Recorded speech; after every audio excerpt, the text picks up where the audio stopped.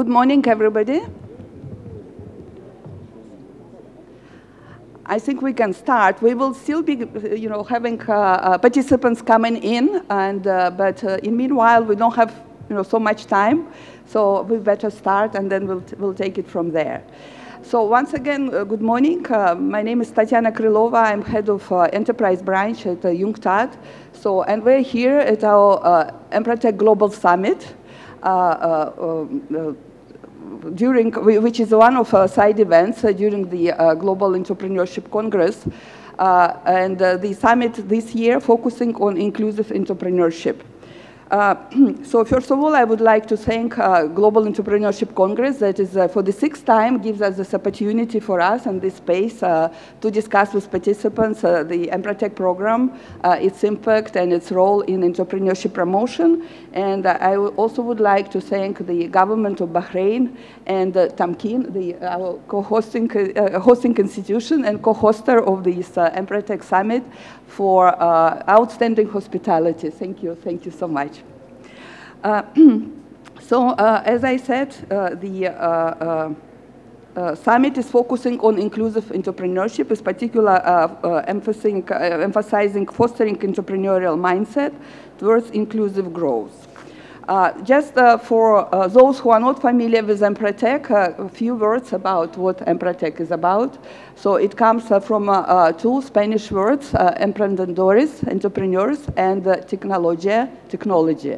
It's a flagship capacity building of UNCTAD on unleashing entrepreneurial potential of entrepreneurs and building competitive SME sector. as I said, Empretec uh, it comes from two Spanish words, and this is because the first uh, Empretec program was installed in Argentina in 1988, and we'll hear today more from our uh, uh you know, Argentina Empretec Center, uh, which is the, the first center established in the world uh, 30 years ago, and last year they celebrated, and we were invited to celebrate the 30-year anniversary of Empretec Argentina. So throughout these years, we have 30 years of development of the program. So we are, have, uh, you know, close to half a million graduates of the program in about 50 countries. Uh, uh, and uh, for now, we have about more than, you know, 25 uh, requests from countries to install Empretec, pending funding and possibility for financing of these requests. So what's different with, um, uh, with uh, Empretec? It's really a unique program based on behavioral approach to entrepreneurship. So it enhances entrepreneurial potential and competencies of participants based on behavioral approach. Uh, which is really quite different from other uh, approaches. And when we talk about personal entrepreneurial competencies, these are no new words. These are 10 competencies clustered in three clusters, achievement, planning, and power. What make, makes it different uh, from any other program is, again, as I said, this methodology that really first provides a diagnostics of the level of development of these entrepreneurial competences, uh, competences, and what is even more important, provides the tools and equipment uh, uh, and equips uh, uh, participants with instruments how to unleash this potential of and development of personal entrepreneurial competences. Uh, why UNCTAD is engaged? UNCTAD is uh, one of United Nations agencies. It's a focal point uh, on uh, economic development. And uh, uh, in this regard, of course, SMEs and entrepreneurship logically is one of key pillars of uh, you know, promoting sustainable and inclusive growth. And that's why the program on SME entrepreneurship development is one of key aspects and key elements of a mission of UNCTAD to promote a sustainable, uh, sustainable development. And uh, in this regard, I just, uh, of course, it's uh, small letters, uh, but I wanted to bring it up that uh, last year in November, uh, was recommended by General Assembly of United Nations as a key program on uh, promoting entrepreneurship through behavioral approach. So that's really quite an achievement that, you know, the uh, specific program uh, of a UN agency is now included in the General Assembly resolution which is called Entrepreneurship for Sustainable Development.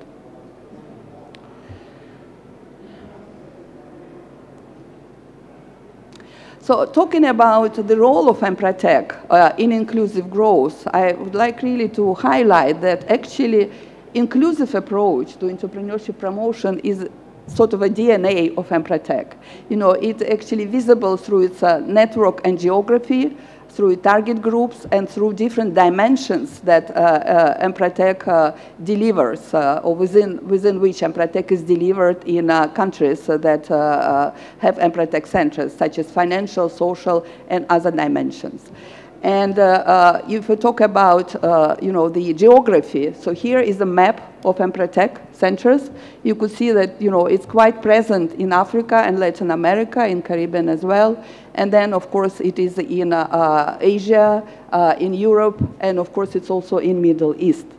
So uh, uh, it's really quite a coverage, and as I already mentioned, we have many more requests, and I also would like to highlight here that actually, uh, you know, the program is de de delivered in uh, countries with different level of economic development, in developing countries as well as least developed countries, but also in transitional economies and in developed countries. We delivered Empretec uh, uh, workshops in Switzerland and in Spain, and uh, so it's again, you know, really a very inclusive approach uh, towards uh, entrepreneurship promotion. So then uh, we use, when we talk about Empretec, we, we uh, you know, the inclusive, inclusiveness of entrepreneurship, uh, uh, its role in entrepreneurship promotion could be summarized in four U. It's unleashing of entrepreneurial potential. Uh, it's based on a unique methodology. The methodology was developed at Harvard University through extensive and intensive research and testing throughout different continents uh, to prove the point that there is some core uh, a core element, you know, in all successful entrepreneurs. And this core element consists of these 10 competencies that I mentioned before. And uh, uh, again, this is uh, something that is, uh, uh, that is a foundation for this entrepreneurship, entrepreneurship promotion methodology called Empretec. And then it is universal, and this, this universality is really something that, again, highlights, promotes, and enhances inclusive nature of the program. Uh, we delivered the program to poor population and rich population. For example, we had, you know, really very wealthy entrepreneurs from India at some point uh, uh, who were participants of the workshop, and, uh, you know, very uh, uh, poor population, sorry, to a wealthy population and to poor participants in Ethiopia, really with, you know, in rural areas, very, you know, very um, challenging environment. We developed, we delivered it for people with low literacy, like in Panama and in some other countries. I just brought here some examples. And people with a very sophisticated level of education and mindset, such as scientists, uh, uh, managers in the you know, scientific institution uh, in Russia. Uh, we delivered it in, uh, you know, for participants in very, you know, diverse industries, uh, in agribusiness in Mozambique, in Mozambique, affordable housing in Zambia, sustainable tourism in Tanzania, food industry in Vietnam, and we can really, the list is very long.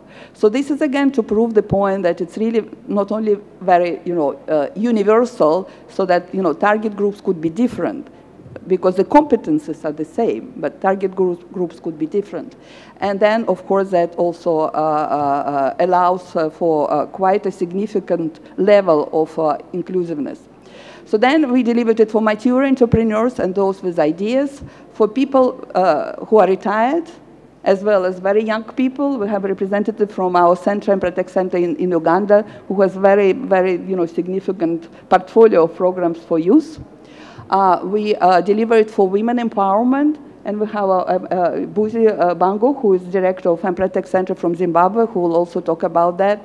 We now started to develop, deliver programs for immigrants and refugees. We actually developed a specific uh, um, uh, uh, guide, policy guide for on which is called entrepreneurship and migration. And in addition to this, and within this framework, we again, you know, now de deliver the workshops for this target group of population in countries that need such, uh, such instrument. Uh, we also deliver this uh, for people with limited capabilities, like in South Africa, you know, the program was delivered to people in wheelchairs. And in some other countries, in Colombia, for example, they recently adapted it for uh, uh, uh, youth with um, um limited um, limited abilities as well. And uh, so then other groups, such as managers, uh, such as government representatives, of course, that needs a bit of modification and tailoring. But again, the, the content is the same. The methodology is the same. It's about, you know, identification and then fostering key competences that I believe to be really key success factors for people who decide to, uh, uh, to start their own businesses. And then, again, getting back to our point of this discussion today, it's uniting. It's uniting through the Empretec Global Network. Uh, normally, we run Empretec programs, uh, uh, program in uh, member states, in countries who are interested in that, through establishment of local national Empretec centers. And they are all united through different events that we have, like this summit, summit, or we also have Empretec directors meeting. So it's really communication and networking that you know brings all these uh, uh, centers and Empretecers who took the program together, and as I mentioned already, cooperation through Empretec centers. So um, uh, in this regard, we can say that Empretec is for you, so it is for you. And uh, so those who didn't take it yet, who didn't join the Empretec network, you are very much welcome to join us. And uh, so with this, I would like to thank you for your attention. Uh, this is really my introductory remarks uh, about the uh, Empretec uh, to bring us all on board so that we have more or less understanding of what Empretec is about. And uh, so now I'm really very pleased, uh, unless you have any questions. so we can, yeah, okay. Mm -hmm. hello, thank you for your nice introduction. could you just give me more information about how we can join Empretec? Uh, to join Empretec, uh, you know, because again, it's a program of uh, UNCTAD, United Nations Conference on Trade and Development, which is an intergovernmental body of United Nations. So normally uh, we would need to have a request uh, from uh, an agency in the country to come to Secretary General of UNCTAD uh, with approval or uh, soliciting then discussions with the government agency to give us a green light. Uh, but having said that, I would like to stress that uh, the hosting institution could be uh, you know, any type of institution that is uh, cooperating uh, and uh, uh engaged in uh, entrepreneurship promotion in the country. But normally we start with a request, but then of course the request should be followed by uh, raising funds because that would need financial support. As I mentioned, we have about more than 25 requests from countries that are pending financing. But here we normally also can join forces and to see how we can raise funds. Yes. Um, yeah. My name is Judika. I work for the United Nations Population Fund in Chad. Um, I have two questions. The first one, I want to know how uh, Empretec is working with other UN agencies. Do you have any link with other UN agencies? And if so, uh, what are the agencies? Second thing, you said you are in different countries and are still Cameroon, Benin. So uh, what do you mean by being in that country, do you have an office there? Um, do you have representative? If so, it'll be good to share also um, the different contacts so that we can link up with them. Thank you. Thank you. Yes, of course. As a you know, UN agency, we very closely work with our sister agencies. Uh, in uh, Empretec in particular, we work with uh, very closely with UNDP in those countries where uh, you know UNDP is uh, engaged and interested in such activities. Uh, we also work in some particular programs. We worked with ITC, International Trade Center, and uh, uh, also with ILO. In fact, in uh, Zambia and Tanzania, these are, you know, so, so to call one UN project type of activities where different agencies are involved and uh, we are there with our component on entrepreneurship skills facilitation. So, uh, um, and we can talk more about, you know, some, we, we, we, also cooperate very closely with UNIDO in Ethiopia, so that we have a number of uh, uh, examples uh, that we could also discuss further on, uh, maybe, uh, you know, after the meeting. In terms of offices, as I said, that, you know, we have uh, we have these installations normally through, uh, uh, first we start working with a hosting institution, and then uh, this hosting institution or other institutions that are involved in the entrepreneurship promotion, they set up an, a national Empretec center. It's not a UN office, it's not a UNCTAD office, it's a separate legal entity, national legal entity, but we work very closely with these uh, entities, uh, providing our methodology and uh, again also uh, cooperating through the network of Empretec centers and uh, joint meetings. Okay, if I could ask you, please, then maybe we can, you know, keep questions uh, for, uh, you know, further discussion, uh, because we have quite a number of speakers for today, so let's, you know, move in, in, in that mode. So I'm really very pleased to now to give the floor to Mr. Ahmed Hassan Janahi, who represents Tamkeen here in Bahrain for his introductory remarks. Please, you have the floor. Sure. Thank you. I'd like to start by thanking the UNCTAD for having me today in this session as well. And to thank you and welcome you all to Bahrain. Uh, thank you for being part of the session and thank you for being in Bahrain actually and visiting us uh, during these three days. We'd like to see all of you throughout those three days, whether those are social events or the public events. Um, let me start by saying uh, Bahrain has been one of the countries, just like the rest of the countries in this region, depending on oil for a while. And people might still think that Bahrain actually depends on oil for its incomes and, and GDPs. But that's incorrect. We believe we've reached a conclusion today, maybe after years, that the uh, contribution of oil is not sustainable, especially with the changes of prices of oil since 2015. And if we were like the rest of this region, depending on oil continuously, I think we would have failed to uh, sustain the standards of living for our people. So the government of Bahrain has prioritized entrepreneurship as one of the solutions. And of course, one of the deals to achieve even the sustainable development goals, the global goals that are accepted uh, globally uh, by everybody. Um, one of the initiatives that were created in this part of the world, in Bahrain specifically, to help achieving these goals uh, was something called Tamkeen or the National Labor Fund. By the way, Tamkeen in Arabic means, means enablement or empowerment and that's what we do. So uh, the host organization for the GEC uh, in Bahrain, which is Tamkeen, uh, is here basically to do something similar to the Empretec program that the UNCTAD have created, however, just for the local, uh, for the local space. So what we do is we, we as well try to help entrepreneurs to establish, and not just the local entrepreneurs even the international entrepreneurs, but that's for the local market specifically. We as well try to help entrepreneurs to plan their businesses. We have programs to help them to, uh, for you, we have some youth programs to help them uh, to, uh, to have some business plans, to establish a better understanding and better awareness of what entrepreneurship means. Uh, we have programs to help powering, as, as my colleague have, have mentioned earlier. And we are a funding agency at the end of the day. So if you decide to open a business in Bahrain to help achieve one of those sustainable development goals, we'd be able by all means to help you by funding 50% of the cost of establishing that business, whether that's, you just name it. What do you need to start a business? You need machinery equipment.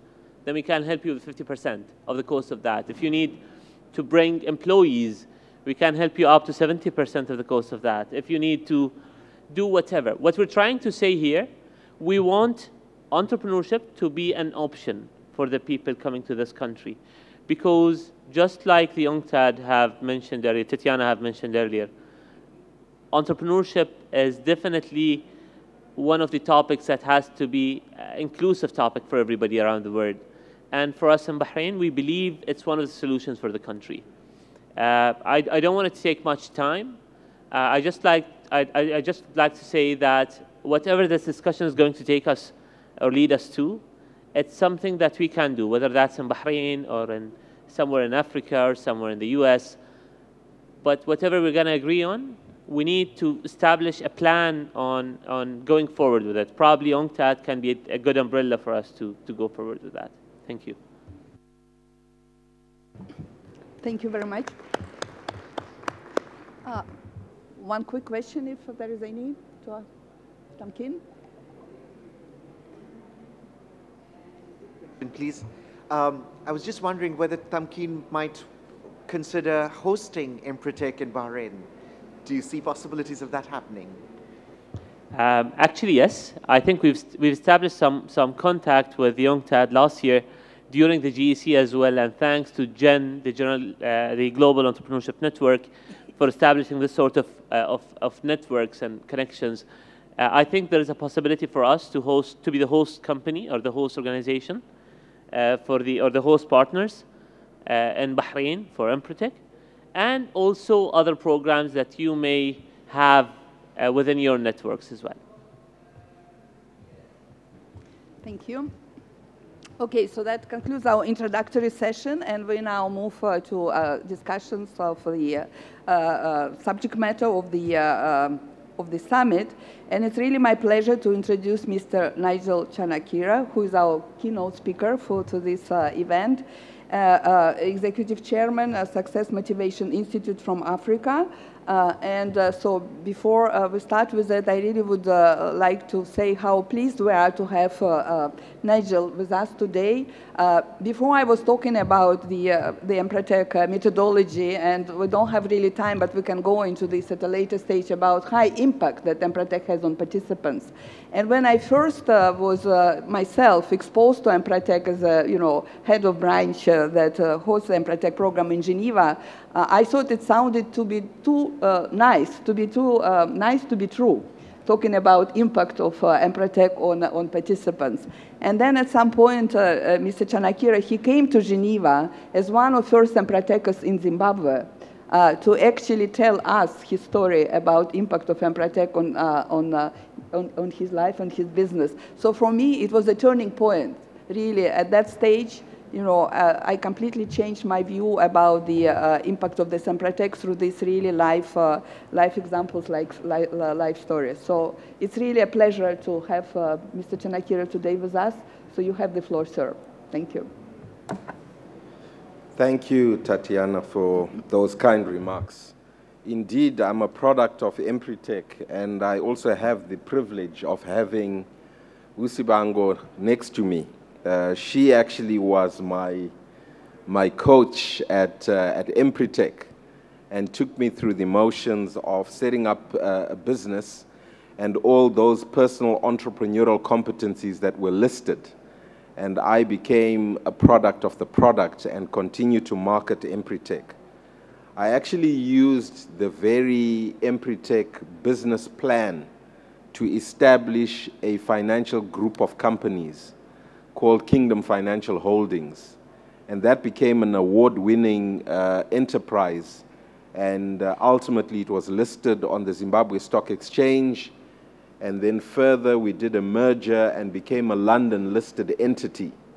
And so it shows that the impact of uh, Empretec uh, can be quite significant in terms of how far it can go. Uh, I then, of course, uh, have come back and focused on training other entrepreneurs through Success Motivation Institute and then also working with Empretec. The subject matter that I was asked to speak about today is the role of microfinance in, in the facilitation of inclusive business and finance. And clearly, uh, when microfinance was mooted, Microfinance was seen as the provision of financial services to low-income people, and it has long been considered a strong tool in facilitating financial inclusion and building long-term uh, resiliency in the face of unexpected hardships for vulnerable individuals and households throughout the world. And clearly, be it migrants or immigrants or the poorest of the poor, uh, this is a solution in terms of making sure that they have access to financial resources.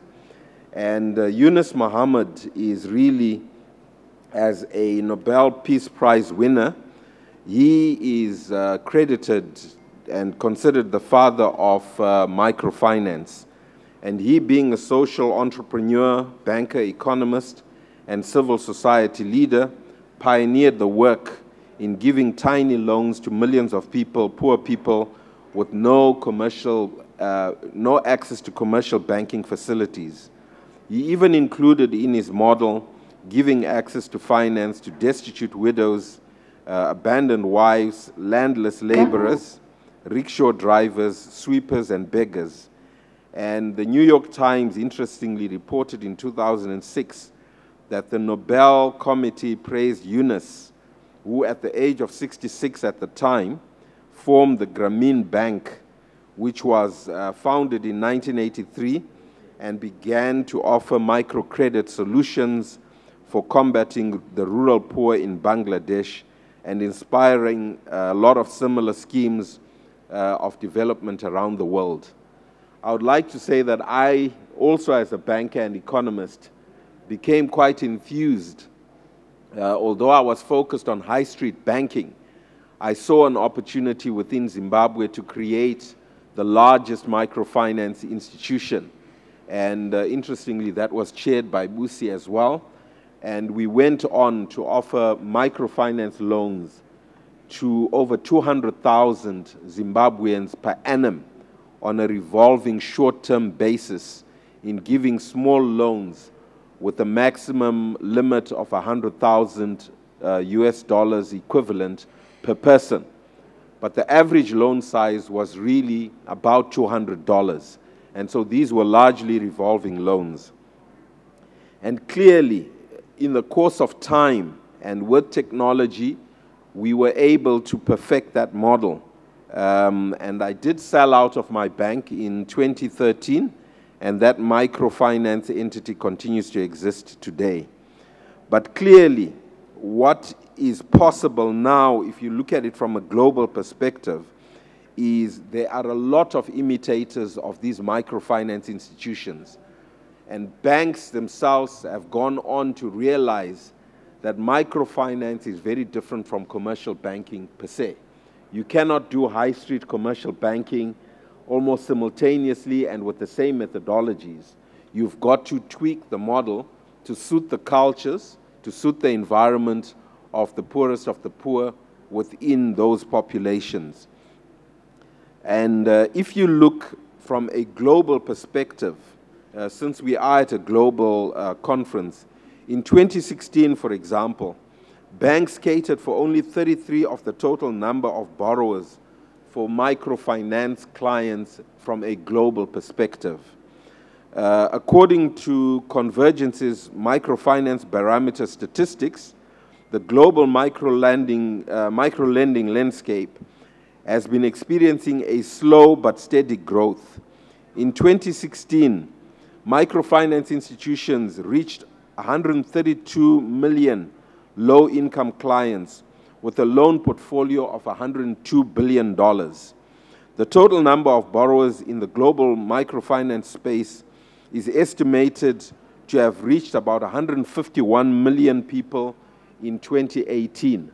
Now, if you look at that statistic in a global population of almost 8 billion people, and where we estimate that, um, uh, you know, we've got a lot of impoverished people, you can see that that's a drop in the ocean. And that means that there is lots of scope in terms of assisting uh, the poorest of the poor. And if you look at the number of people that are living on less than a dollar a day from a global perspective, it becomes imperative for us to con consider uh, financial literacy as a serious subject matter, but also to allow for the growth of microfinance institutions and support them by all means possible. There are arguments that uh, would also test the theory whether small, medium enterprises can truly benefit from microfinance organizations. And uh, there are issues that pertain, for example, to the quantum of credit that is available within the total money supply or credit that is offered within a nation. And then there is the aspect of what charges are actually levied to those individuals.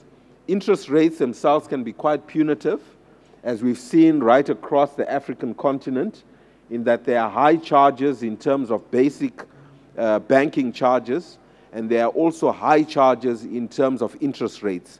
The alternative, of course, being banks who normally then don't give access to credit uh, for the poorest of the poor. Yet, uh, if you look at microfinance uh, clients, they are often just below ab or above the poverty line, and their commonly de defined earnings are $1.25 US, US dollars, that is, a day. And normally, women constitute the bulk of these borrowers.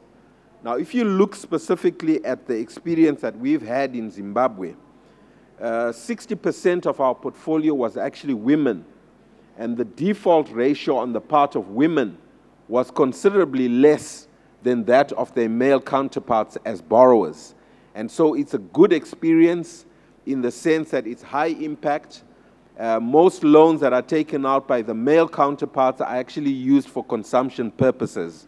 And whereas if you look at women, they are normally used for productive purposes, uh, developing the home uh, in terms of home improvements, uh, education loans, and loans that are, are linked to health improvement of the entire household. Um, in Zimbabwe itself, I think it's a hotbed for microfinance.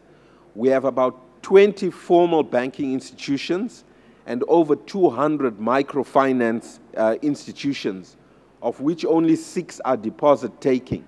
So that means they have to either build their own capital uh, and put that capital at risk and then be able to extend loans on the back of funding that they are obtaining from banks and other institutions such as pension funds and insurance companies.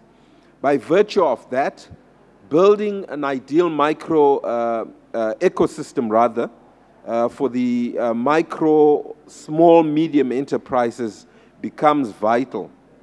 We see that in Zim, only about less than 5 to 8% is targeted of the deposits towards microfinance uh, entities.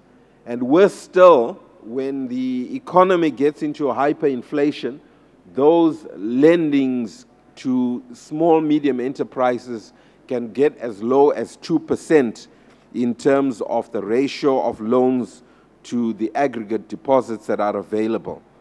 But certainly, uh, the likes of Empretec then offer the skills for a person to be able to come through and borrow money from microfinance enterprises. What we've gone on to do, and this is an area that I've been involved with, is enhancing the financial literacy of a nation. And we were able to do that by running television programs in the vernacular language, in the sense that people could then understand and then be able to come and borrow uh, from, from us. The other issue was an, a comprehension of the necessary financial documents that are to be presented to bankers or microfinanciers. And in essence, it's important that they understood that there are three financial statements an income statement, a balance sheet, and a cash flow statement. And they need to be taught that the most comprehensive of these is, of course, the cash flow statement. So, what we've gone on to do since 2013 is to actually develop an app which we collaborated with a South African company in order to make financial literacy accessible in a manner that is low cost. Normally, you'd go to an accountant, a chartered accountant, or qualified accountant who charges an arm and a leg, you know, to be able to offer you the documentation that would impress a banker. But in the same vein, you are only starting out. So our app now costs a dollar for an individual that allows that individual to be able to access the app, which sits on a cloud, and they can then present uh, financial statements which make sense. This creates an opportunity, I think, for longer or what we would call medium to long term finance because your microfinance entities are normally just giving loans for a period of a month to three months, typically. But some projects, for example, if they're linked to farming, you need a longer period in terms of loan. So that loan cycle within itself would necessitate um, SME or microfinance type of insurance schemes in the event that there is droughts, as is commonplace in a country like Zimbabwe. There is also opportunities to build microfinance, um, to build a, what I would call micro ecosystems for the micro SMEs, in the sense that we can then use technologies such as drones uh, for planting, for checking on crops, for checking on uh, uh, uh husbandry products, etc all these would call for a change in the curriculum uh, of the education system.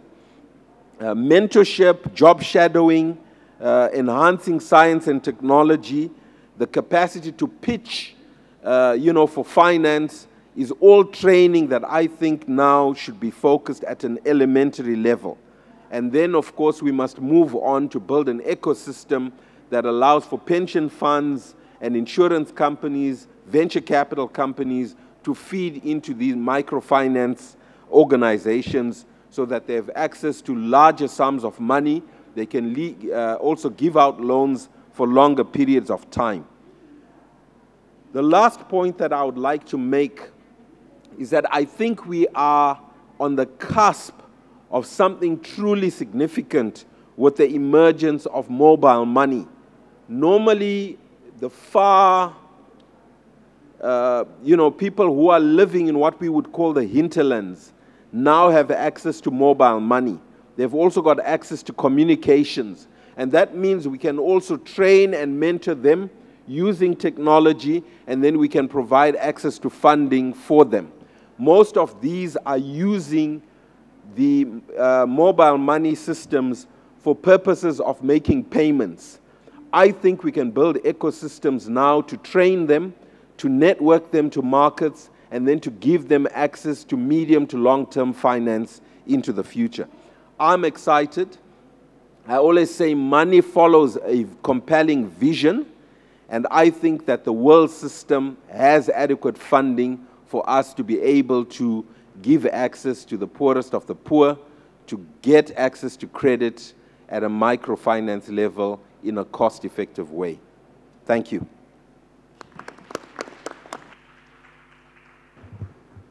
Thank you, Nigel. Um, a quick question to Nigel, if uh, any. Okay, we will have a specific session on Q&A session after we uh, go through all our presentations. So please keep your questions uh, that we can uh, engage in the interactive debate after we uh, proceed with the um, uh, panel uh, with participation of selected Empretec centers. So our first speaker uh, will be Mr. Jorge Lawson, uh, President of Empretec Argentina and member of the board of the Central Bank of Argentina. Uh, as I mentioned before, Empretec Argentina is our first center globally installed, uh, established in 1988. And uh, so it's really a, a pleasure and uh, honor to have you here with us, Jorge. So please, you have the floor. Thank you, Tatiana. Good morning, everybody. I'm Jorge Lawson from Argentina, in the other side of the world. Um, I am president of Empretec Argentina Foundation, managing director of Global Entrepreneurship Network, and director of Argentina National Bank. But fundamentally, I am an entrepreneur. I am, I will try uh, in, my country, the original language is the Spanish but they will try to express my idea in English. Like Frank Sinatra, I will, do, I will do in my way. I'm very excited because the topic selected by United Nations is very important to the human development because the inclusion is very important for the people excluded. Let me show, to start my presentation, a real excluded people. I will present you Mónica. I know Mónica. I help Mónica. She's. Fabrico indumentaria todo lo que significan delantales de mozo, cofias, picheras, bandanas, para restaurantes y todo lo que tiene que ver con el área de comida. Yo soy una mujer proveniente de un caso grave de violencia y después de eso eh, me puse en pie, renga primero, después con buletas, después con... Como pude sola, yo no tengo familia, seguí adelante con la ayuda de la gente que se fue cruzando en mi camino. Yo quisiera eh, que todas las máquinas las manejen otras mujeres, que sean productos de, hogares que hayan salido de los hogares de violencia y necesiten trabajar para criar a sus hijos. Tengo la fe puesta siempre en que todo se puede lograr pero la felicidad más grande está en que la gente cuando lo ve me dice, muy buenos, me gustan mucho, quedó bien. Mientras yo pueda ofrecer algo, quiero que el desamparo sea lo menor posible para... No se puede esperar todo del Estado. No se puede esperar todo de los demás. Hay que hacer. Hay que hacer. We go to take action. In Spanish, hay que hacer. But what is action? For us, action is this program. It's a real program. It's not an idea. The challenge of including by bringing opportunities. One year ago, on this meeting, we selected 1,000 bank employees. And we talked about inclusion with them and presented the method for to include the people. This is the program, the real program. And for us, financial inclusion is not a social assistance. It's not only providing banking service to the excluded sectors. It's not give and card, one card, and put money on the month because this is more exclusion. For us, financial inclusion is to help them develop their dreams, skills, or needs. It's not just an economic issue, it's also social. With the financial inclusion, we can create new companies. We can generate genuine jobs. Many people can make progress. But beyond our vision is the reality of the excluded. Do we know what they think or need? I asked to the banker on that meeting, do you know what the excluded people think or need? For example, they never came to the bank because, because they think I don't qualify. I can't justify incomes. I don't have histories. They never came to the bank. And what, what the banker think? What are you doing here?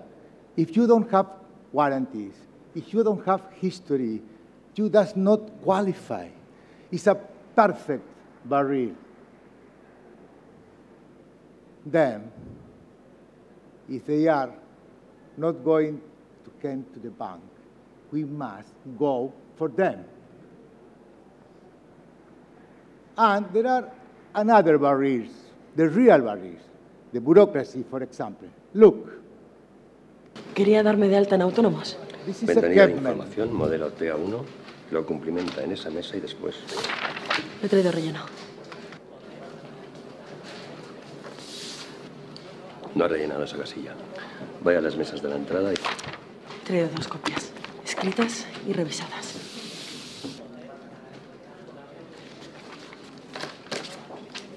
Le falta el preso de Hacienda. Y la fotocopia.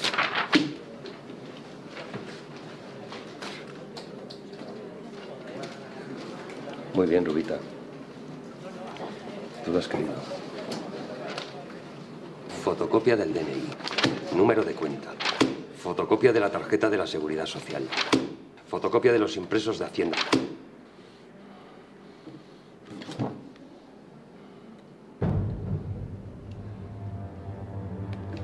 Doble fotocopia del modelo 036, numerado y grapado.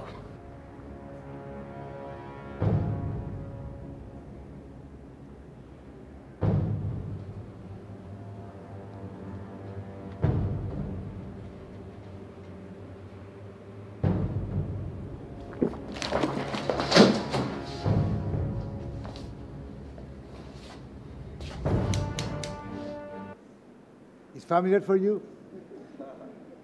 They are not only in the banks, they are in all the public uh, parts.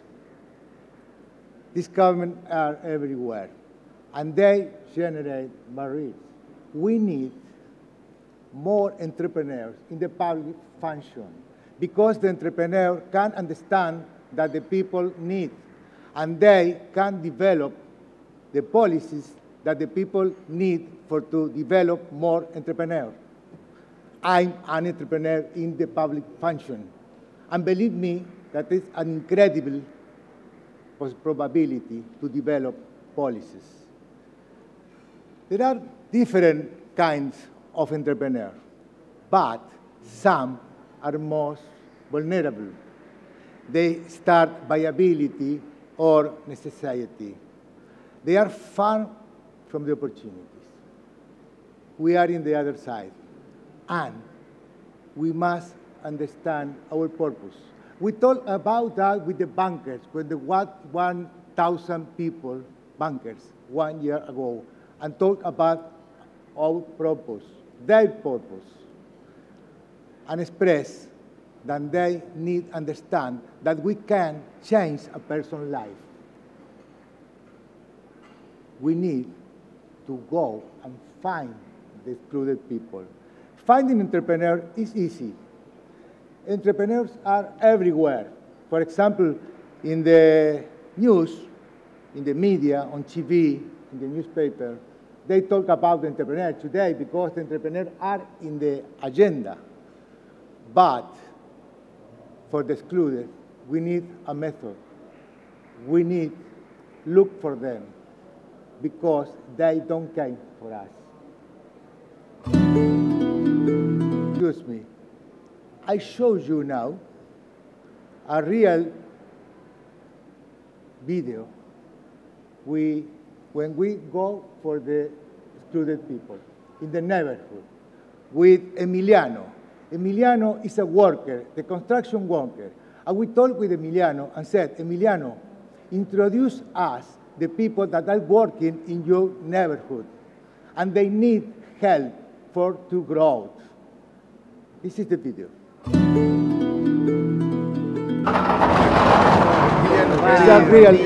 ¿Cómo estamos? Bien, bien, bien. Bueno, Emiliano es, trabaja en la construcción, pero él también tiene una idea, tiene un proyecto, pero yo le pedí que me presente a mucha gente que él conoce. Felipe Belisario tiene un emprendimiento que se dedica a la corte y confección. Daniel Campos, eh, un muchacho trabajador, se dedica a lo que es hacer el calzado. Evelyn Estrada, él hace lo que es repostería, todo lo, que está diseñado a hacer todo tipo de tortas. Pedro Luján Gutiérrez se dedica a lo que es a la, panadería, y hace todo tipo de, de, pan. Pamela del Carmen se dedica a hacer todo tipo de estampado, hace estampado de, remeras, también hace en, tazas, en, vaso. Este impacto que va a generar en, el barrio es o sea, para poder crecer.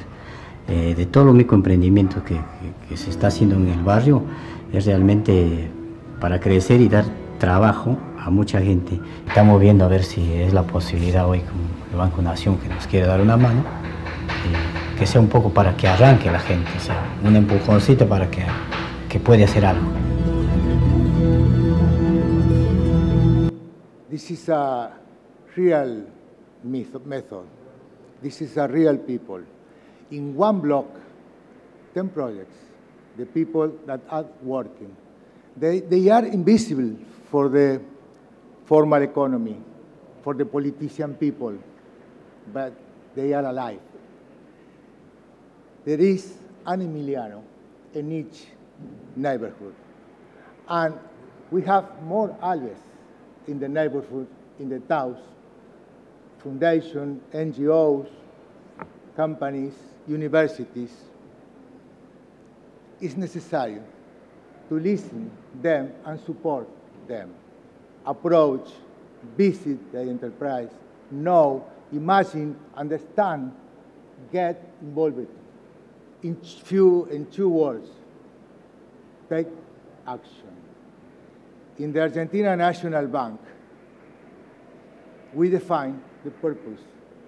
We take initiative we look for them, and we become agents of change. This is the result. When I start my position in the bank, look, 24 trades, credit for the excluded people. When this program started, 1,800 trades. But in March 2018, we started this program, and look the result. 38,000 new credits for excluded people, and more of 35,000 people new customer banking. They were out of the system. The average loan is $5,000. We are aligned with the policies of the United Nations, with the SDGs and the goals. To conclude my presentation,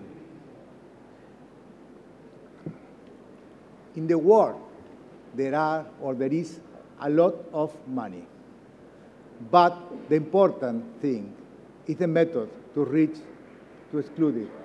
The money is if only money in the banks, in the reporters, is not the real money for the excluded people. We need method because we need that the money go to the excluded people. We must be teachers and inspire the entrepreneurs. We must be mentors, discover their passion, see their potential, develop the skill, transmit values. We can be like a lighthouse. But we don't work to create bosses and employees. The world needs more leaders, more mentors, more dreamers, and entrepreneurs. We can create and approach opportunities, and they must, must be inclusive. Opportunities should be for everyone. Thank you.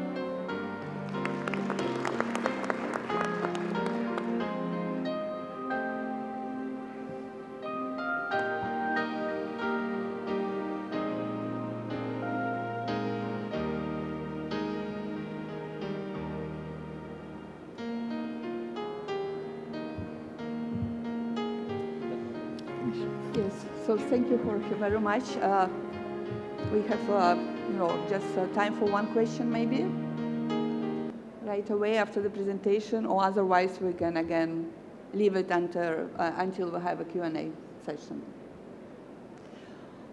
Okay, so with this, I would, uh, uh, I'm very pleased to give the floor to Ms. Busi Banga, who is the CEO of uh, Empretec Zimbabwe, uh, who is one of our most active centers uh, in Africa. So Busi, you have the floor, please. Okay.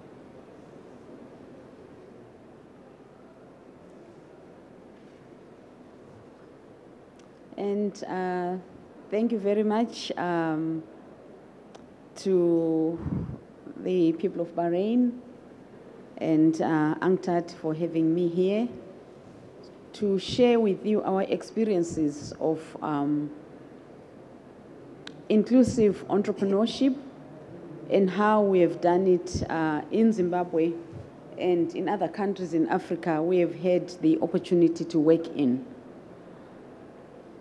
Um, so um, I was asked to talk about inclusive entrepreneurship focusing on the rural communities. And uh, when I looked at what we define as a rural community, I found that it actually includes uh, even men. It includes both young and older women, as well as it includes the youth. So basically, a rural community is very similar to an urban community in the way in which it is stratified. But what differs is mostly the circumstances. So quite often, uh, when you work in the field of entrepreneurship, you get questions or comments or remarks that ask you, what is entrepreneurship? And uh, we all come up with different answers. But in line with uh, the subject matter that I'm going to present on, I have decided to respond to that question in a number of ways. Number one, I find that entrepreneurship is a solution to reducing poverty. It is a tool for economic growth. It is also a strategy for creating employment. It's a solution for dealing with social and socio-economic problems, as well as being a strategy for improving people's livelihoods and increasing the standard of living for people. It's a method for creating wealth at the higher level. But for all that to be achieved, entrepreneurship needs to be inclusive in reality. So why, um, how do we define inclusive entrepreneurship? I simply say it's a situation where, wherein anyone who would like to be an entrepreneur is able to do so without any barriers. So somebody wants to be an entrepreneur, there should not be any barriers, whether those barriers are internally coming from you as an individual or they are externally driven from the environment. So maybe just to share a bit about my story and the story of Empretec Zimbabwe, focusing or related to what the subject matter is today. I'll just share a few projects or programs that we have run which link to rural entrepreneurship and how we have managed to be inclusive in those programs. Firstly, we designed and managed a program wherein we supported um, 6,000 households, rural households, in the southern part of the country to come up with micro enterprises. We also designed and are currently implementing a program wherein 4,500 young people, more of whom are young women, are being supported with entrepreneurship and business management skills, as well as taking their products and their services to the markets, including accessing finance. We also designed and implemented other service providers with other service providers locally, regionally, and regionally in various sectors, initiatives in rural communities where we worked with um, other service providers in Zambia, in Malawi, to look at how rural communities could turn their produce and take it to the market. And we also supported rural-based women entrepreneurs to find local, regional, and international markets for their products. So with that background, I would like to see and share with you what I believe are some of the barriers that can come in to achieving uh, inclusive entrepreneurship. Firstly, the barriers could be endogenous. In other ways, they are coming from within the individual wherein the individual maybe is lacking certain skills. They could be entrepreneurial skills, they could be business management skills, or there could be skills of how to actually access funding. I think my colleague from Argentina just shared how the situation is in Argentina of a woman, a young woman trying to access a bank loan in the bank. There could also be exogenous, where external factors come into play, Maybe there are bad attitudes within those people that uh, the entrepreneur is dealing with. So, how can we overcome these barriers? But maybe before we go there, let's look at a rural community or women entrepreneurs or young entrepreneurs. I believe they are a special, vulnerable, unique group of people. Often, when you talk of poverty, a lot of people say poverty is the face of a woman, especially a young woman. They are disadvantaged in many fronts, culturally, socially, economically, and otherwise. They lack access. And by lacking access, I mean lacking access to opportunity, lacking access to funding, lacking access to markets, or even to the right networks that can actually open certain doors for them. Um, we also find that women are in the majority. They constitute 52% of the population, maybe worldwide. And when we look at the situation of women or young people, we need to be talking not of equity, not of equality, but of equity, whereby we recognize the disadvantage that the women and the young people have gone through, or the rural communities have gone through, and put in place strategies or tactics that will bring or level the playing field. But also, we need to understand that women in themselves are a big market. at several studies done by the World Bank and other institutions, our UN institutions, do confirm that 80% of spending budget in a household is controlled by a woman. So when we disadvantage a woman, we are actually disadvantaging the economy because that spending budget cannot be used properly if a woman is disadvantaged. So why should we include women or include rural entrepreneurs in, uh, in what we do? Women make better leaders, I believe, because they use both intuitive, intuitive and logical skills. They approach problems holistically, and studies have also confirmed that companies that are women-headed perform better. So hence, excluding women is not only disadvantaging the woman, but is disadvantaging economies, world economies. Local economic development from the village level up, we find that, as I said initially, the majority of the people are women. So if you want local economies to develop, it's better to empower the woman and develop the woman. There is an old adage that when you educate a woman, you educate a nation creation of local markets and circulation of money within the economy. So if you are able to empower the rural economy and include the rural economy in entrepreneurship, you are actually creating those local markets and enabling that money to circulate within that economy and strengthen that economy economically.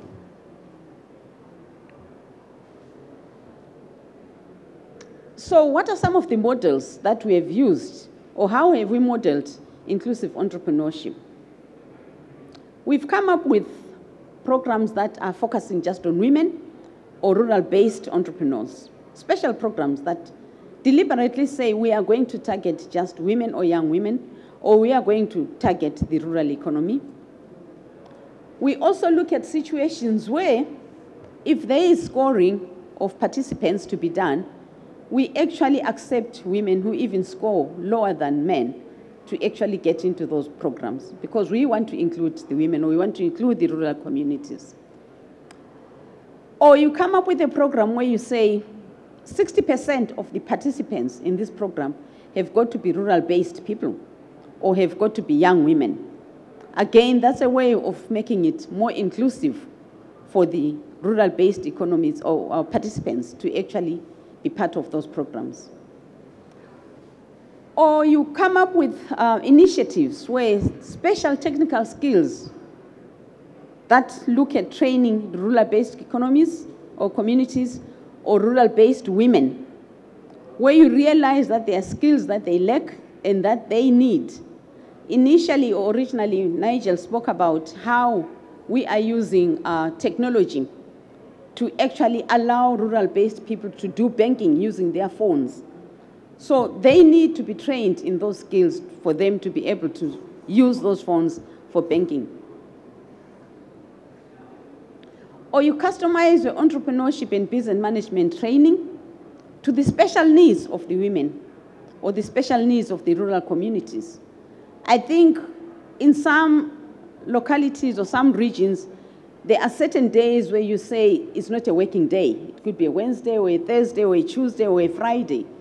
So when you are now running those programs, ensure that you actually take note of that and customize your programs around the cultures of the communities that you are dealing with. Special funding schemes, schemes for the rural-based communities. I think currently there is a huge program that is running around worldwide that is being run, I think, by the World Bank called SEED, where the target is women entrepreneurs. Or you can come up with grants and you are saying, we want to give grants to women and for them to start off their businesses, small grants. And then maybe as the business grows, they can actually then start getting loans as well. Or it could be through self-initiated schemes such as uh, savings and credit unions that the community in the rural area can run and actually be able to access funding for their businesses. So, in conclusion, when you run inclusive entrepreneurship programming, you actually lead to some of the following. You are able to build and strengthen more entrepreneurs in terms of increasing your private sector participation in the economy. You are able to actually build more competitive products and services because we've become more inclusive, we've got, we've got more entrepreneurs taking part and participating, and it actually helps to improve the quality and the range of products and services. You are looking at achieving more economic growth for an economy because it's now broad-based. You've got more people participating in entrepreneurship. Or you also are able to broaden the tax base. So you're increasing what goes into the fiscus at the end of the day. You also help to create more employment.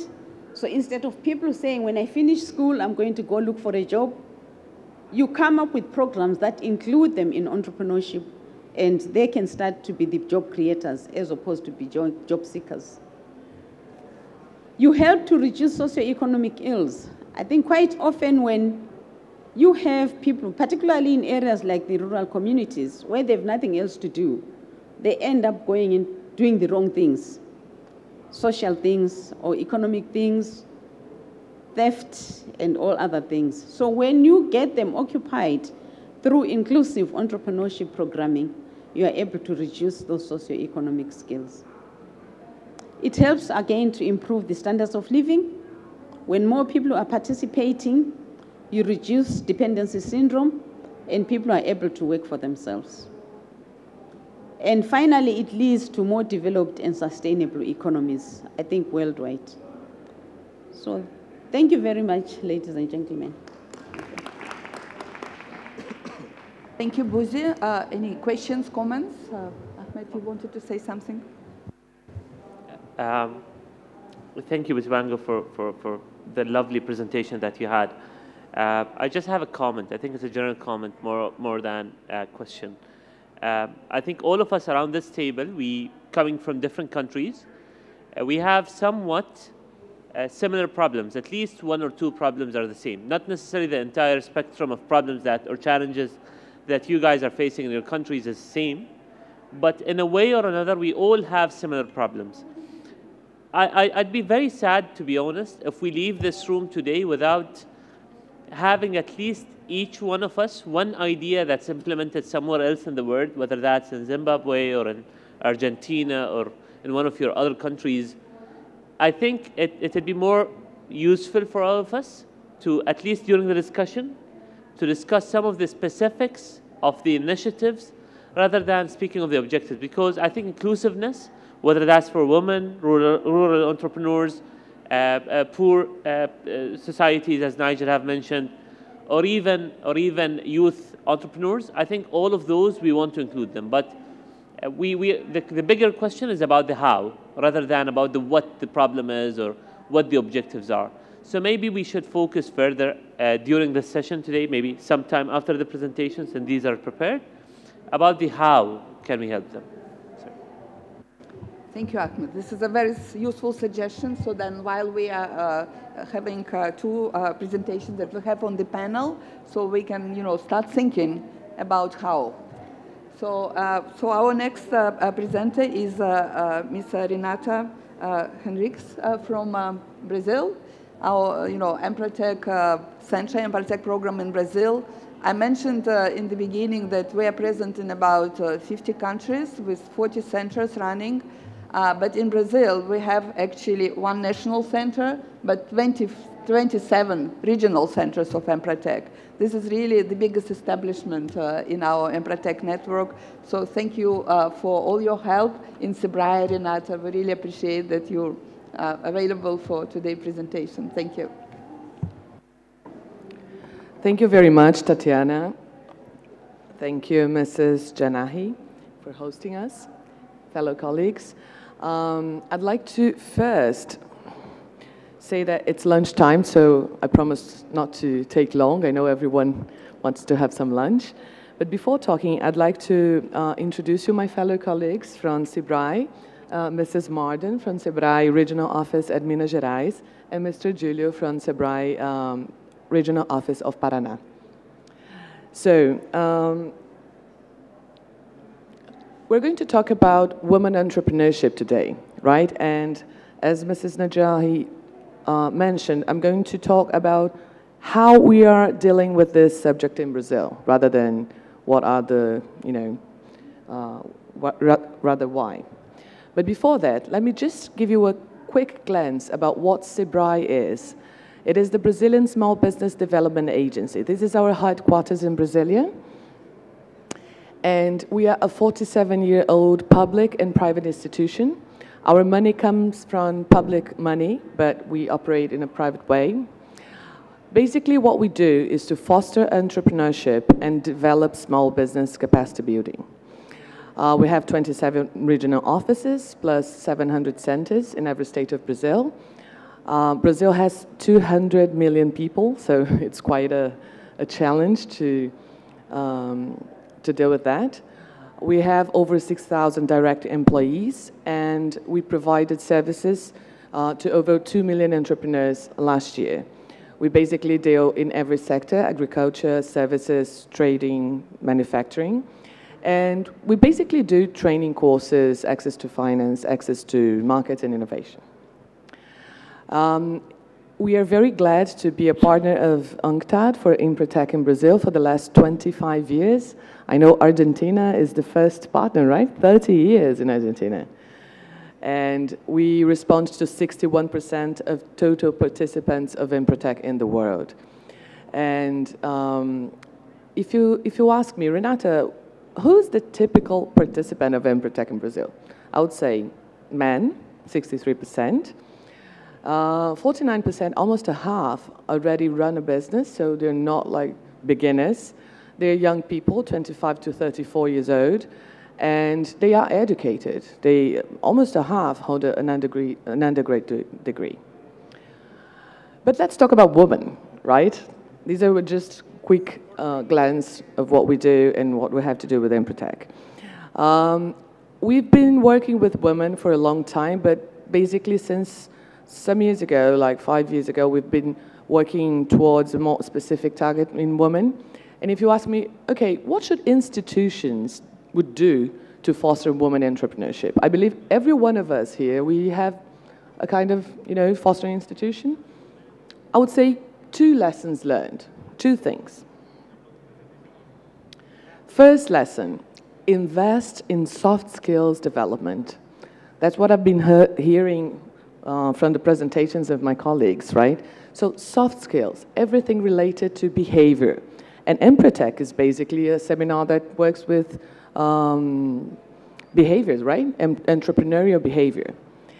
And the second lesson would be if you are an institution that fosters entrepreneurship and you want to help women to entrepreneurs, you have to consider maternity constraints.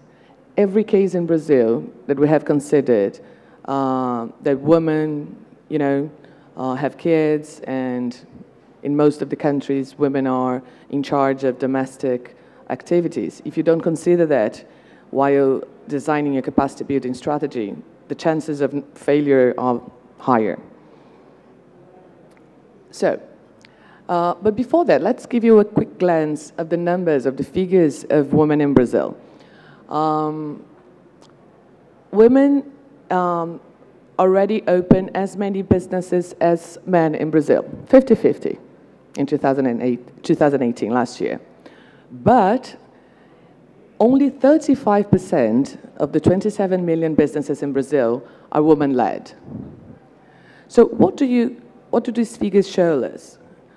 Women, uh, women are as much entrepreneur as a man, but women-led businesses die first right? Because the second figure, we consider the established businesses, right? So what we're seeing here that women die first in terms of businesses, then businesses led by men. These are the Global Entrepreneurship Monitor 2008, uh, 2018, sorry, uh, research. In Brazil, women entrepreneurs are 16% more educated than men in numbers of years of study. But women-led enterprises' annual revenue are 22% lower than men-led enterprises. Um, what about sectors? food and restaurant, fashion and cosmetics are the main sectors of women-led enterprises in Brazil. No problem at all. I love these sectors. But what about highly innovative sectors such as robotics, biotech, information technology, fintechs? If you look at these numbers, there's very few women in these sectors. This is a very nice one as well. Uh, women dedicate 18 less percent working hours to their enterprise than men. So men dedicate more hours to their businesses in Brazil, right? But what do women do in the hours that they are not running their businesses? So this is a very, very important um, number. I, I, I, would encourage you to look at these numbers in your, in your countries as well. Basically, what women are doing when they're not running their businesses is that they are taking care of children and the house, right? So, summing up, numbers. Women-led businesses in Brazil are less profitable. They are situated in less innovative sectors, basically food, services, uh, cosmetics, and fashion, and they are less competitive. And if you look at the person, women entrepreneurs, they are more educated in years of study. They devote less numbers of hours to their businesses. Right, this, this is the summing up of the figures. And please don't take me wrong. When I, when I show these numbers to people, people usually get depressed, like, oh, that's so bad.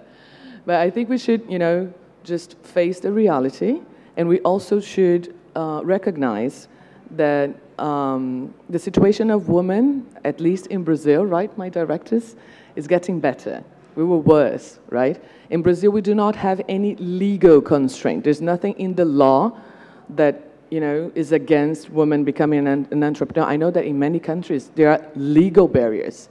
The barriers in Brazil are 100% cultural. But it, it is as strong as legal, sometimes even more, right? Sometimes you change the law, but you don't change the culture because it's people's mind. So, um, the conclusion is women-led enterprises are, on average, less competitive and show higher failure rates. This is the truth. But what do we do with that? We can change that. And first of all, why is that so? Because if we are fostering institutions, we have to understand the problem so we can actually tackle the problem, right? So we're going to talk about hard skills and soft skills.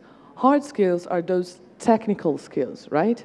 So planning, uh, business planning, marketing, uh, managerial skills.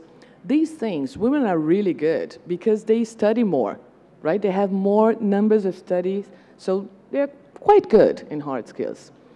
But what about the soft skills? What about behavior?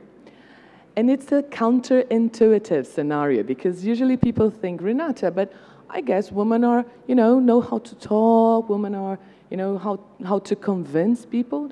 What are you talking about? Is women not very good in soft skills? That's, it doesn't, you know. But in entrepreneurship, what are the skills that we are looking for? In entrepreneurship, the skills that we are looking for is capacity to communicate, capacity to defend an idea.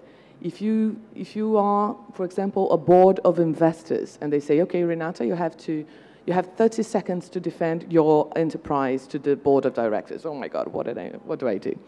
So self-confidence, leadership, right? This is, this is the kind of soft skills that we are talking about when we're talking about entrepreneurship. So and the other thing is we have to be aware of limiting beliefs. I really don't believe, and there's no research, um, and every research do not say this, that there's a biological thing, woman or man, right? This is 100% cultural. And if it's cultural, we can deal with that. So how does culture affect women entrepreneurship? This is, this is a reflection that I, I leave to, to you, my fellow colleagues. Uh, how do you raise boys? How do you raise girls? What are the toys? What are, you know, that we, what, do you usually talk to these people, girls and boys, that are going to, you know, um, become adults and what are the behaviors that they're going to, to, to do? Um, there's only one hard skill that women are worse than men. Do you know what it is? Would you, would you like to, to shoot? Finance. Women on average, uh, are worse in finance than men. Women, on average, tend to let the finance of, the, of her business to her husband or to the accountant. Is it true in your countries as well? Do you see that? Not very much? No? Good. I would like to hear from you. So in Brazil, um, this, is a, this is a figure, very, this is a very common figure. And we asked Brazilian Central Bank a report about um, the number of loans of regular banks to small businesses. And then we, we did a separation between loans provided by, for men and loans provided by women. And what we found out is women are better payers. They pay it very correctly. But on average, women pay higher interest rates, which doesn't, I, quite don't understand, right? If we're better payers, why do we pay uh, higher rates, interest rates? I don't know the answer. We, we didn't have any study on that. But I believe, that's my personal opinion, that maybe because women are not very used to negotiate with banks, right? That's a thing of self-confidence. And the other thing, in, in terms of numbers, um, let me just tell you a quick story. I don't know in your countries, but there's a thing that say that we, we grow up listening to these things. Like, men usually are better in numbers than girls. Do you have these in your countries? Or no, like mathematics? Not at all? Great. Um, I, I, did my master degree at University of Cambridge in, in England, and I had a colleague that his PhD was, his PhD question was, when do girls give up liking mathematics? And his, and his findings were six to seven years old. On average, in the world, both, well, he, his research was not every country in the world, well, he had some countries, but um, up to six and seven years old, both boys and girls showed the same interest in mathematics and therefore the same results, right? Because when you like something, you probably, you know, study there. And there are two things that happen in this um, age that mm, let girls not liking mathematics as much. So the first thing is cultural things. Girls and boys uh, listen to their parents, professors, teachers, people saying, oh, boys are better in numbers, girls are better in humanities, in classics. So yeah, you know, this thing that we listen. And the other thing is representation. This is really, really important, especially in entrepreneurship. You only dream to be what you see people like you becoming, right? So I'm a girl, I'm a little girl. I don't see women in engineers. I don't see women astronauts. I don't see women mathematicians. So that's not for me, right? So this is really, really important when we are, when we are dealing with entrepreneurship. So what are the inspirations? What are the representations that we do? So I really believe that the girl, the, the, set, the six to seven years old girl that do not like mathematics is the 30 years old entrepreneur, woman entrepreneur that do not deal with the finance of their enterprises. And let the husband do it, right? So just, just for us to have a reflection, I know every country has uh, its own reality. Um, I'm having some problems. Okay, so the conclusion is if we want to foster women entrepreneurship, we should definitely um, focus on mentoring and coaching programs. These are keys because these are the kind of things that work with soft skills. If we're just doing training courses, we, we usually don't talk about behavior, right? And that's what we need to talk about.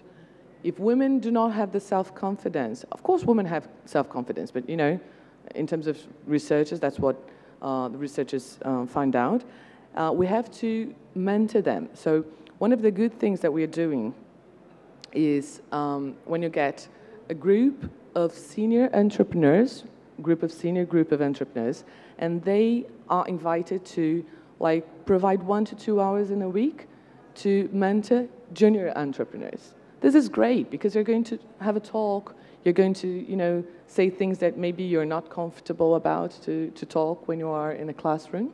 So this is really, really good. Um, and the second lesson, remember two lessons? The first one was um, invest in soft skills development. And the second lesson learned is when you think about women entrepreneurship, you have to consider maternity issues. Um, I would love to live in a world where women and men share uh, and divide the activities of raising children.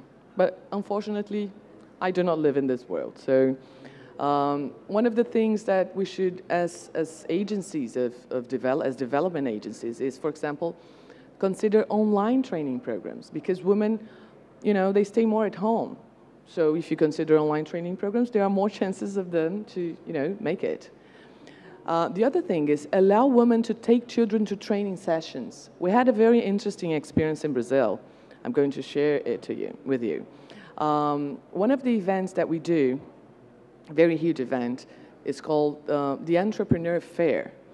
It's a week of many lectures, courses, training courses. I'm, I'm going. And this, I mean, we had like 100,000 people, uh, entrepreneurs going in this fair. And there was this, this rule that we did.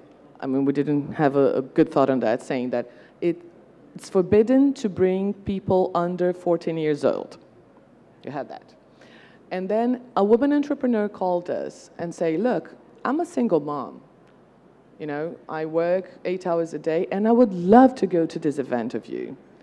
And, but I don't know, I, I, I don't have anyone to, to let my children with. So can I bring my children to the event? And then we said, you know, that's a real problem. And then in the end, yes, okay. But we, ju we just didn't think about it. So think about it. If you're a woman and you have children and you're a single mom and you don't have money to, you know, let some, pay someone to let your children, you just don't go. It's imperative. Is there any difference in terms of content in entrepreneurship? Mm, no. But in terms of delivering the, the, the, the course or the solution? Yes, absolutely. And the other thing is engage men in the debate because this is a societal issue, right? It's an issue of the whole society. Um, and this is my last um, slide. This is the, the Woman uh, Entrepreneurship Program that we are running in Brazil. It's a program, it's a 3 million US dollars program, two years.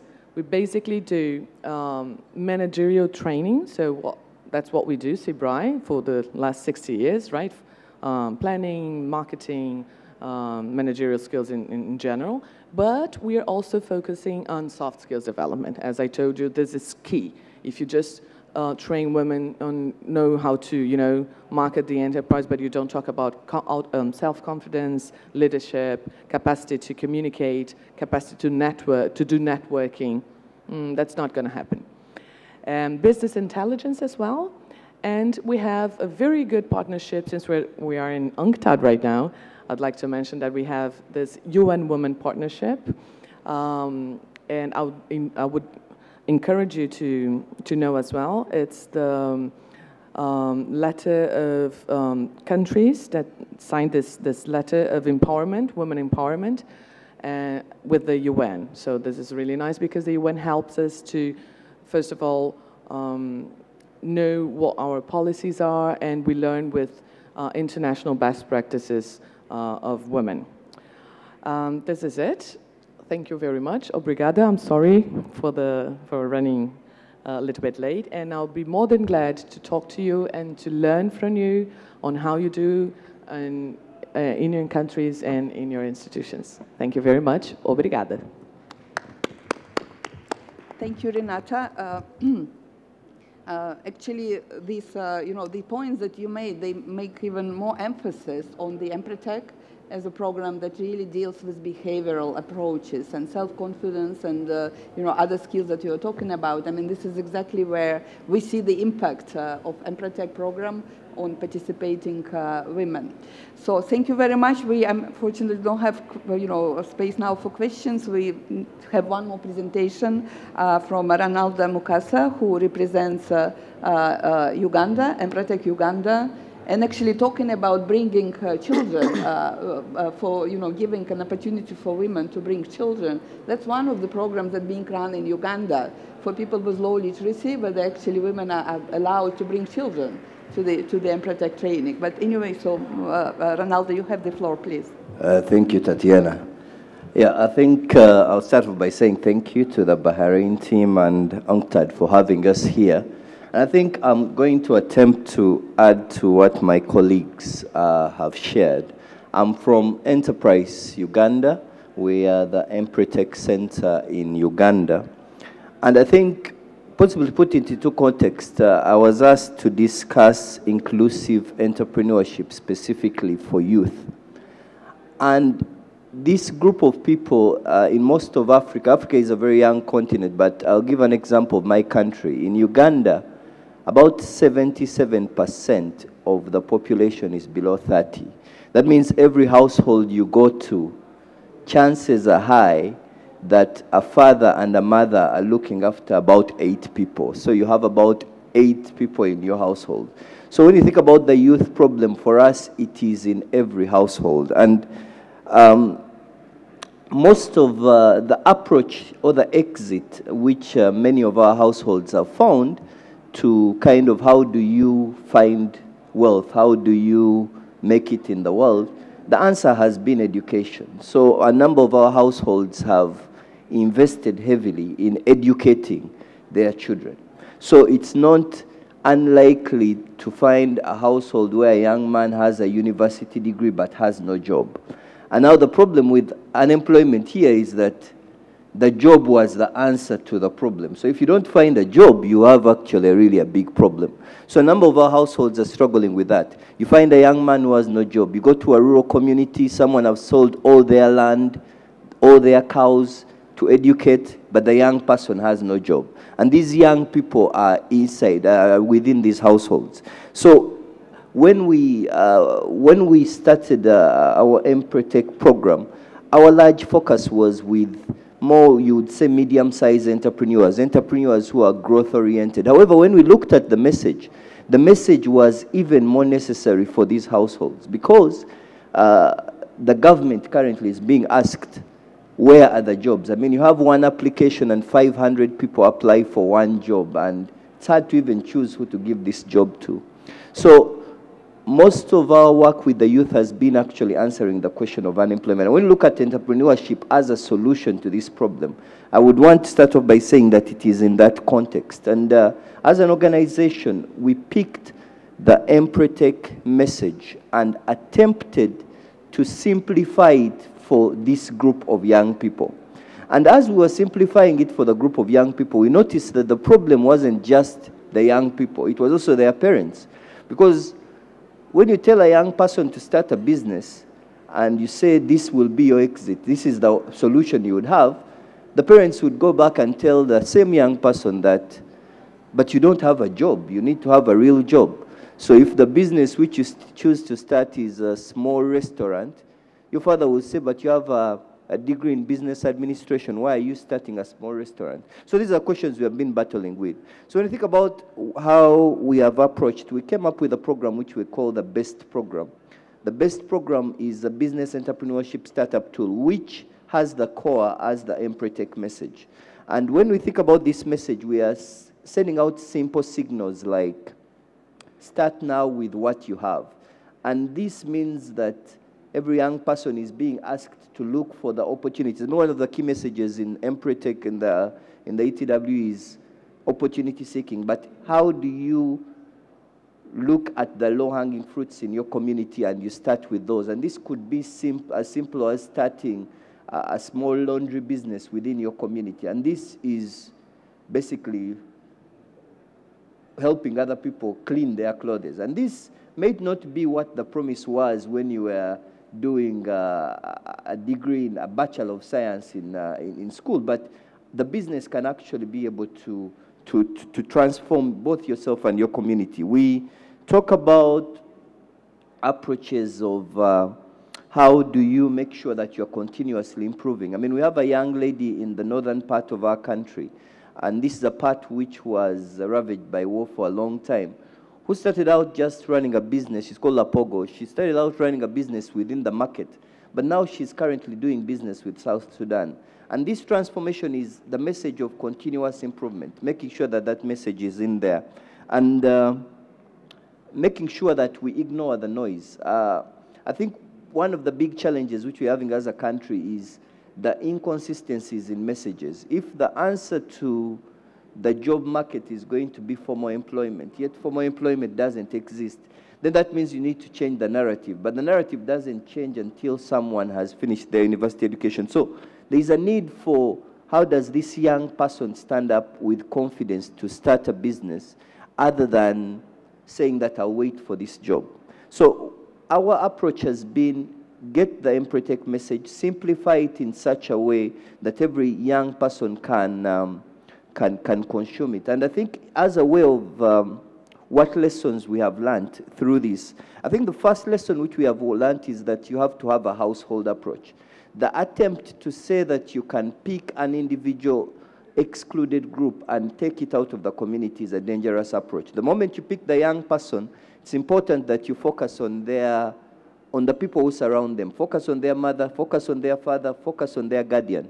In the absence of that, the young person may start moving but be pulled back by the forces of the community in which they live. So there is a need for you to actually take an uh, to take a to take a household approach in your in your activities. And I think the second message could be uh, this question of uh, a mindset change approach. It is I mean, you talked about uh, culture, Renata, and uh, when you think about culture, culture is so fixed that no one debates it. So uh, if, uh, if, um, if someone goes for, for a family function and uh, one person introduces themselves as working for a bank, another person introduces themselves as working for an engineering firm, and then I introduce myself as an entrepreneur do I get the same respect from community or do they look at the entrepreneur as the person who has actually failed at everything else and has chosen to run in entrepreneurship? So this, how do you attack these mindsets? How do you, how do you package that? And I think for me the message has to be broadened because the mindsets are so ingrained, so so there are such pillars in our communities that pushing them down is going to be quite a struggle. In some of our communities, there are businesses which some people shouldn't do. I mean, we have a group of our, we have a part of our country where men shouldn't be seen cooking. So you starting a, a business as a chef is a bit of a dangerous thing because a man is what? Man is cooking. There are sectors where women have been totally excluded. I mean, when you think about how profitable the automotive industry is, someone kind of starting a repair shop and being able to repair vehicles. But you don't see women in that sector. And when you ask the women, they say, but I'm a woman. If I was a man, I would have tried out in this sector. So I think pushing that. And the question of mindset has to be broadened. Can be, I think as an institution, what we have managed to do is to put it into our training programs, but also become campaigners of this message through the media, through policy influencing. So as an institution, as an Empretec Center, what we have attempted to do is to kind of change the agenda, the entire agenda of the nation and try to focus on how do we build a mindset where people take ownership of the situation, make sure that they transform. So I think in conclusion, what I'll say is that as an institution, we have we managed to reach about 90,000 entrepreneurs over the 17 years we have been in business. But even in our country, this is a drop in the ocean. We are 40 million uh, people country. However, I think there is an opportunity. One of the key things in the Empretec model is this issue of mindset change.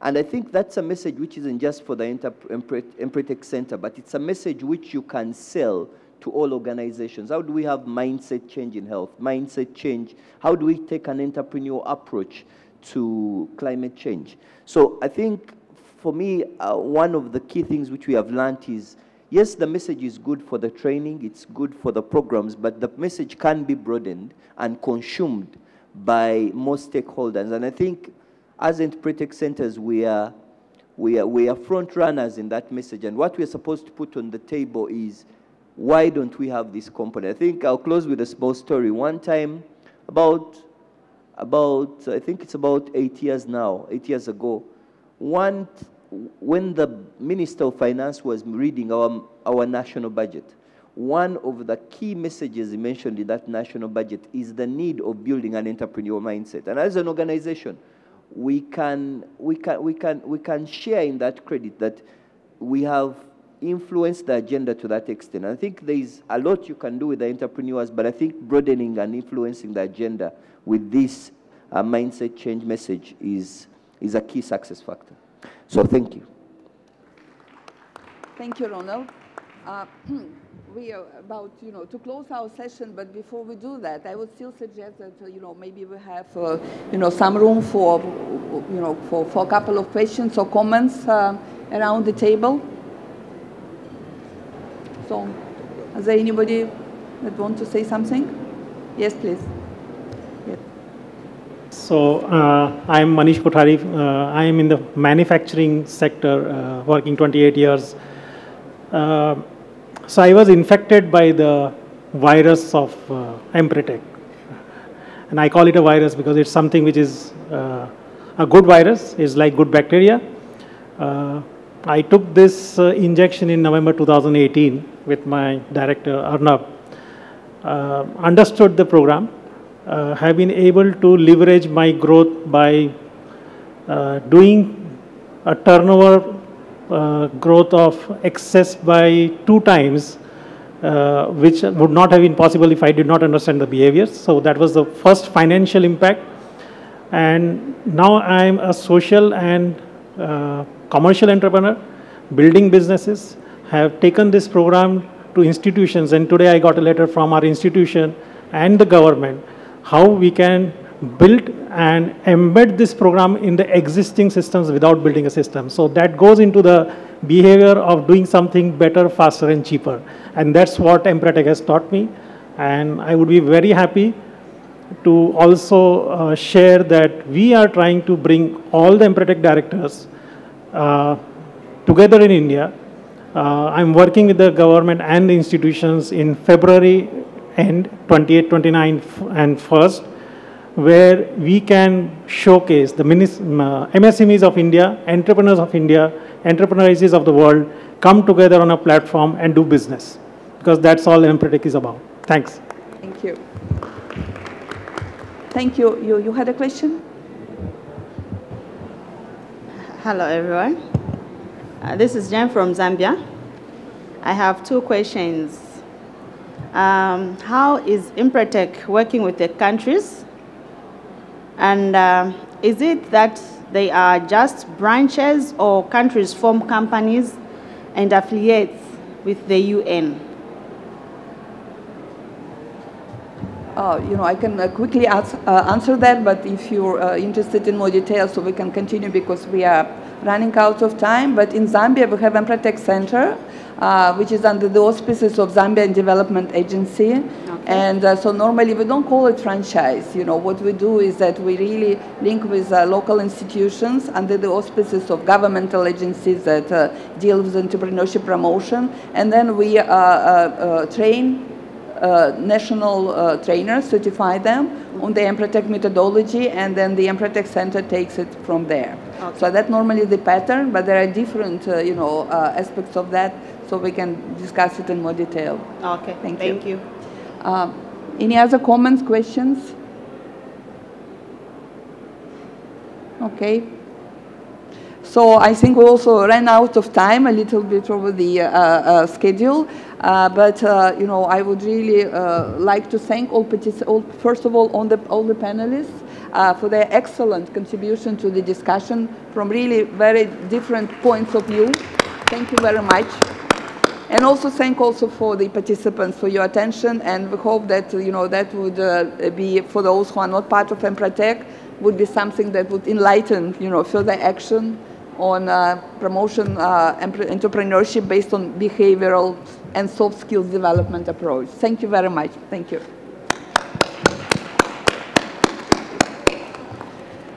Thank you. Thank you. Yes, thank you again. Hello, everyone. Uh, I just would like to make a small announcement uh, that there's going to be a game competition going on right next door, session room number five. Uh, there's just going to be simple questions asked related to the GC, and there's valuable prizes uh, to be won. So, so you're all welcome. And yeah, it's just going to take 15 minutes, so you still have time for lunch.